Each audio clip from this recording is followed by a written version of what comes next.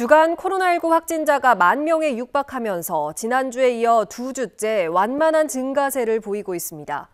이번 주 강원도 주간 확진자는 9,556명으로 지난주 같은 기간 8,543명에서 11.9% 1,013명이 늘었습니다. 오늘 0시 기준 1일 확진자는 1,857명으로 전날보다 118명 줄었지만 지난주 같은 요일보다는 109명 늘었습니다. 시군별로는 원주 483명, 횡성 48명, 영월 36명, 평창 39명 등입니다. 도내 누적 사망자는 전날보다 2명 늘어난 1,187명, 치료 중인 위중증 환자는 23명입니다.